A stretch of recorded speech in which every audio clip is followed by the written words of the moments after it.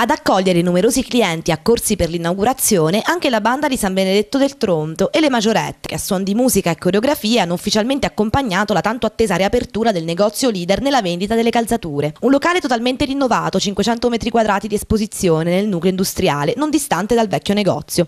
Il megastore è stato realizzato grazie al max investimento di 700.000 euro realizzato dalla società Cosmo. Più di mille i curricula aggiunti nelle mani della direzione che ha selezionato 14 nuovi dipendenti tra cassieri, venditori lavoratori addetti al magazzino. I sei dipendenti che lavoravano per il Globo prima della chiusura dello scorso gennaio sono stati riassunti e hanno mantenuto la stessa forma contrattuale, tre di loro con contratto a termine, restanti tre a tempo indeterminato. Lo store ha totalmente modificato la disposizione della merce, dedicando più spazio all'intimo che è adesso un reparto dedicato e agli accessori sportivi, palloni, sacche da palestra e borsoni. Tra i numerosi visitatori molti clienti storici che, testuali parole, non vedevano l'ora che riaprisse il negozio per la convenienza dei prodotti e il vasto assortimento degli articoli proposti. Una mamma, avvicinandosi a noi, ci ha confessato sorridendo di essere entusiasta della riapertura. Ha due bambini piccoli e con quello che costano le calzature per l'infanzia, il ritorno del globo rappresenta una vera e propria boccata d'ossigeno per tutte le famiglie della Valle Peligna. E speriamo che lo sia anche per l'economia in forte affanno dell'intero comprensorio.